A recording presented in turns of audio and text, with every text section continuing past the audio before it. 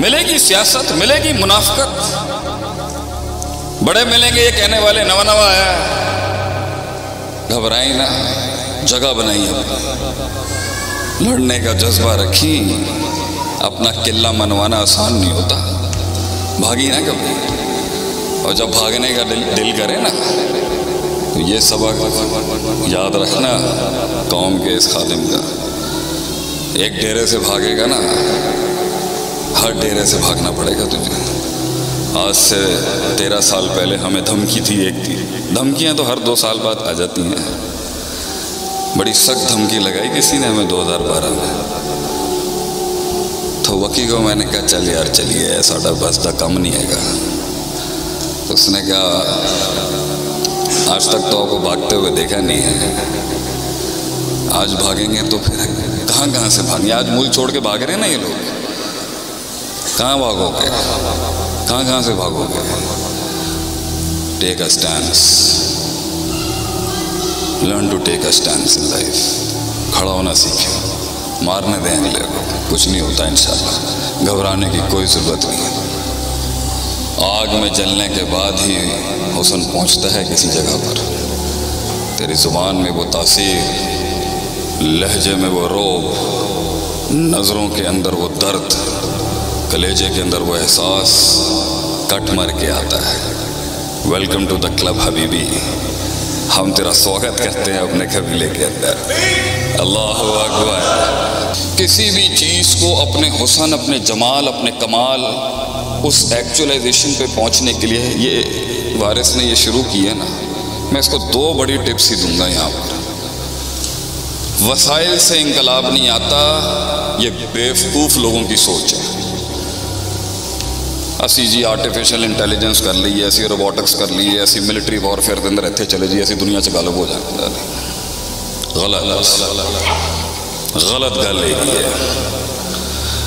इनकलाब कभी भी मातहतल फितरत वसाइल नेचुरल रिसोर्सेज से नहीं आ सकता कम मिन फ़ियतन कलीलतन गलबत फ़ियतन कसीरा कभी भी नेचुरल रिसोर्सेज से नहीं हो सकता ये किल्लत, कसरत पे गालिब सिर्फ़ और सिर्फ़ होगी तो ईमान और इखलास के साथ होगी। बड़ी बड़ी तोपों और टैंकों के अंदर बरकत नहीं होगी और शायद कुछ पत्थरों के अंदर अल्लाह वो डाल देता है जिन्होंने बड़े बड़े ऐवान हिला दिए। ये तेरे तोप और टैंक और ये न्यूक्लियर किसी काम दे नहीं है। अगर इनके साथ ईमान की शर्त नहीं जुड़ी और ईमान की शर्त के साथ वो तेरह तेरह बीस बीस जाते थे, किलों के किले फतह किए उन्होंने। ईमान जो था, वो वो मौत को उतार चुके थे, वो इस दुल्हन को इस मौत के साथ उनका निकाह हो चुका हुआ था। They were ready to give their entire life to the concept and ideology ये दलेरों का दीन है मेरे भाई। ये इसको जरा good Muslim good Muslim good Muslim तो आप बनाए, अच्छी बात है। ये दलेरों का दीन है। ये गैरतमंदों का दीन है। इसके अंदर मक्के के भी बड़े बड़े सरदार और चौधरी आए थे तो उनकी भी बड़ी शानें थी उस टाइम इसको हल्का आदमी नहीं ले सकता।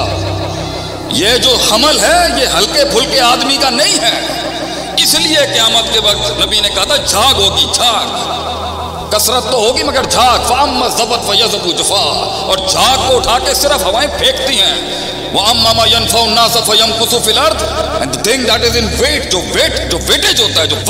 ईमान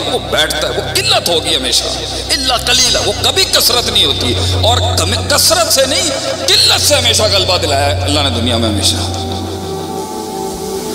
वो ईमान मांग अल्लाह के बंदे, वो दर्द मांग बैठ के।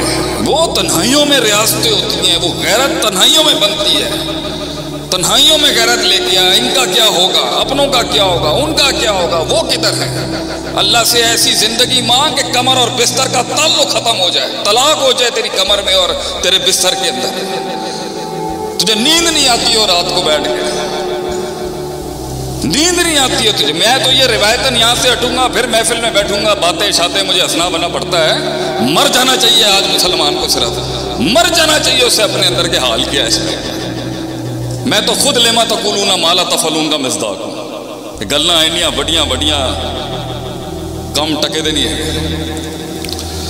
एक चाहिए सिर्फ़ एक एक चाहिए। जम्मे गफीर, एक एक खालिश दर्द, एक खालिस कर्ब, एक खालिस कमिटमेंट चाहिए। और मैं अपने नो, मैं अपने जितने भी नॉन जो न्यू मुस्लिम्स हैं उनको कहता हूँ, अगर इनके डेरे 20-20 सालों से जदी पुश्ती मुसलमान है ना, इस्लाम की जितनी खिदमत जितनी खिदमत अजमियों ने की है ना, शायद इतनी अरबी ना कर सके। इमाम बुखारी को देख लें, कितने बड़े बड़े मुहदस हैं, अजमी, कितनी बड़ी बड़ी कुर्बानियाँ दी हैं अजमियों ने। और अरबों की भी बड़ी कुर्बानियाँ तो ये मत समझना कि तुम अगर कबीले में नए हो हाँ तुम्हें मिलेंगे ऐसे पागल एहसास दिलाएँगे तुम्हें, मैं तुम्हें रियलिटी चेक दूँगा। बाहर निकल जाता है। तो आपको लोग मिलेंगे, शुरू करते हैं अच्छा काम। बस वो शुरू ही हुआ होता है, कहीं नहीं पहुँचा होता। अगर उसको उसके अंदर कुछ दिखता है तो वो फिर ठहरता है। फिर वो इल्म बैठना शुरू होता है। फिर उसकी शुरुआत होती है आलिम बनने की, जाहिद बनने की, मुजाहिद बनने की और एक सरदार बनने की टू बी ए किंग तो अगर आप लोगों को लगता है कि आप इनकी मदद करना चाहते हैं तो ये आप नहीं कर रहे मदद। प्लीज़ करेक्ट दिस थिंग मैंने आज तक पब्लिक डोनेशन नहीं मांगी। अस्सी लाख रुपए महीने का खर्चा है मिदरार का। सारे अपने कोर्सेज से जनरेट करते हैं, अल्लाह की तोफीक से। क्यों?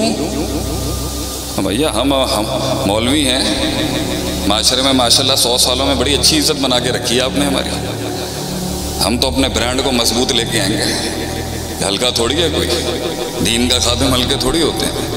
हमने ज़िंदगी में वक्फ की हैं। माशरे में सबसे हल्का आपने अभी रखा हुआ घरों के अंदर। सबसे माड़ा बच्चा तुम सानू ही कहते हो। We are the most incompetent in the society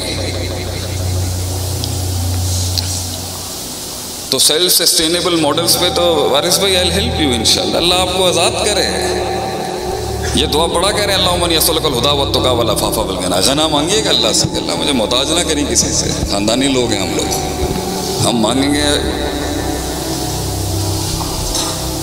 लेकिन अगर आपको मौका मिल रहा है ना तो ये थोड़े अरसे के लिए अल्लाह चेक करेगा आपको। और अगर सतियत होगी तो कुछ लाख निकलेंगे। कुछ थोड़ा बहुत आएगा, खलास। बड़े बड़े पाकिस्तान के ऐवानों में बड़े बड़े लोगों के साथ हमने काम किया है। तीन तीन हज़ार करोड़, पाँच पाँच हज़ार करोड़ की पार्टियों के साथ। बड़े जिगरे देखे हमने इनके। और कुछ ऐसे भी थे जो शायद खजूर का एक छिलका भी लाते थे, मगर वो बहुत पहाड़ जितना वज़न रखता था। ये तो अल्लाह देता है जिसको ये नसीब देता है। अल्लाह लेता है काम बंदे से। इसलिए इन मुकद्दस रातों में तोफ़ी की मांगनी चाहिए। अल्लाह मेरे को कोई कम ले ले, दो हाथ ने दो पैर ने कोई कम ले ले अल्लाह मेरे को। और आप परेशान ना हो। अगर इनको भी नसीब नहीं होगा तो अल्लाह दूसरी कौम भेज देगा। यशा यूजिब हर मुसल, मुझसे मुझसे किसी ने पूछा ना एक दफ़ा, शेख साहब, एडी कंसिस्टेंसी एनी कंसिस्टेंसी एना इस्तकलाल, एनी मुस्तकल चौबी घंटे तुम सबर का दर सबर सबर सबर। ये जो चीज़ आज अल्लाह ने, माशाल्लाह सब, वैसे पहले भी दिया हुआ था, आज भी ये नहीं भी होगा, हम तो दरवेश आदमी चले जाएँगे। तो जो चीज़ मुझे कमर, थका हुआ मैं अभी भी। तो कमर और बिस्तर का ताल्लुक नहीं करिए जितने एक्टिविस्ट बैठे हैं ना यहाँ पर, ये इनको है ये जितने मुतहरकिन बैठे हुए हैं, ये जितनी जमाती तंजीमी मुतहरकिन बैठे हैं, ये इनको मेरा सबक है। एक आयत है जिसने कभी लीडरों को कभी चैन से सोने नहीं दिया कभी। ए यशा यूसिफकुम वो याति भी हल्कन जदीद। अल्लाह ताला कुरान में फरमाता है, अगर तुम नहीं करोगे ना, मैं नई कौम लेके आ जाऊँगा आगे से and you will be replaced तो अगर आपने नहीं करना कोई मसले की बात नहीं है। अल्लाह के लिए नई मखलूक लाना, अल्लाह के लिए इंसानों से हट के कोई और मखलूक लाना, ये कोई बड़ी बात नहीं, ये तो सादत है, जिसको मिलती है, सो मिलती है। और इसी बात पर मैं अख्ताम ही करूँगा। हमारे बड़े आ चुके हैं और हमारी अपने मिजाज के मुताबिक हम बड़ों का आगे कलाम नहीं करते। असल शेख, क्या हाल की हाल है? तबीयत ठीक है। और अगर कही सुनी बात में जो गलतियाँ थी, वो सारी मेरी थी। जो मैंने कुछ अजीब व गरीब सुनाया, वो अल्लाह का था। कुछ हक सुनाया, वो अल्लाह का ही था। एक शेर आपके, आपकी खिदमत में पेश करके ये फ़कीर यहाँ से जाएगा। मेरे पीरों मुर्शद बैठे हैं, मैं सामने, मैंने अठारह जुमले बोल दिए उनके आगे। ये हमारा अदब